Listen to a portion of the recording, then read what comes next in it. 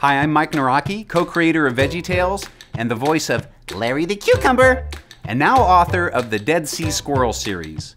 These books are a great next step for kids who've graduated from VeggieTales but haven't graduated from laughing and having fun. So let me tell you a little bit about the series.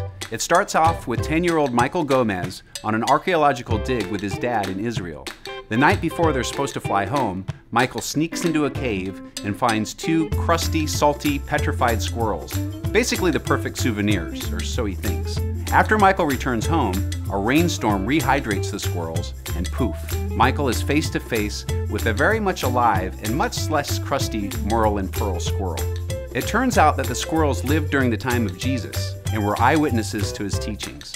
Hilarious missteps and misadventures happen throughout the series as Michael and his friends navigate life while Merle and Pearl offer wisdom in their own squirrely way.